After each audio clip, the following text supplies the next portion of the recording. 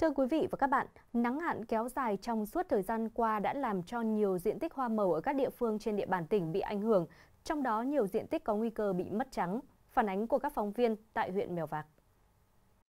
Tại xã Niêm Sơn, nhiều ngày nay trời không mưa, hạn hán kéo dài, diện tích ngô vụ đông xuân của một số gia đình trên địa bàn xã cũng không thể cho thu hoạch. Mặc dù ngô đã trổ bông, nhưng bông ra đến đâu, khô đến đó, không thể kết hạt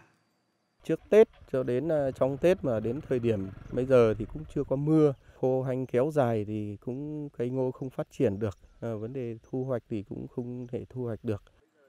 Thời tiết nắng hạn kéo dài cũng gây ảnh hưởng đến việc gieo trồng diện tích ngô vụ xuân hè.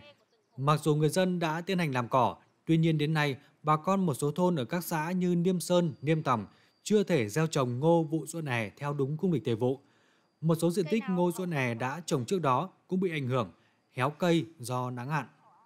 Tất cả các diện tích trên địa bàn huyện thì à, hầu như các địa, uh, diện tích đều không được cho thu hoạch, cũng vận động tuyên truyền cho bà con nhân dân tiếp tục thu hoạch những cái diện tích mà không không không được cho thu hoạch đem về cho bò ăn và chuẩn bị cái diện tích đất để trồng cái gối vụ tiếp theo.